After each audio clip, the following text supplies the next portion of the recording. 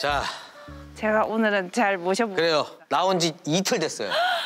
와, 아, 비닐 안 뜯었어. 도 하나도 안 떼셨네. 안 뗐지. 다 비닐 떼고 와야지, 이거. 와, 깨끗하게 조심. 비닐도 안 뗐습니다, 지금. 아, 옆에 있는 그 따- 스티커도 안 뗐어요. 보이죠, 이거? 너 처음 만났을 때 차 옆에 긁어먹고 갔는데. 지금 그 정도까지는 아닙니다. 운전 실력 기대된다. 어, 약간 운전석에 앉는 게 좀 자신감이 있어 보여. 여유가 있어 지금.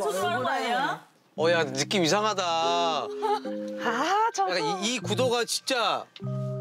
옛날 그 자리에 아 소름이다 이거. 네, 일단 출발을 어, 나 할까요? 느낌 이상해.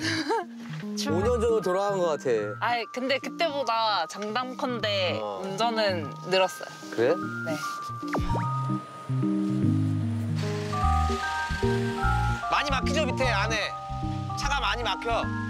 한참 있다 올라왔던 기억이 있어요. 아 풋풋하다 너무. 스무살.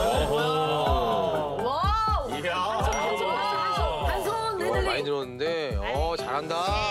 어때, 새 차? 아, 너무 좋은데요? 그렇지? 아. 새 차야. 오빠 차 뽑았다. 너무 좋은데요, 오빠? 아, 진짜 세상 좋은데요? 오빠가 이제 첫 상업 영화를 찍으셨는데 홍남이 영화. 뭐 이미 뭐 언론 보도 나 나갔어. 저 처음에 그 말씀을 들었을 때 너무 놀랐어요. 아, 그때도 살짝 얘기가 되게 맞아요. 됐었네요. 나왔어. 언급이 됐었죠. 제일 중요한 제작 보고회 날이어서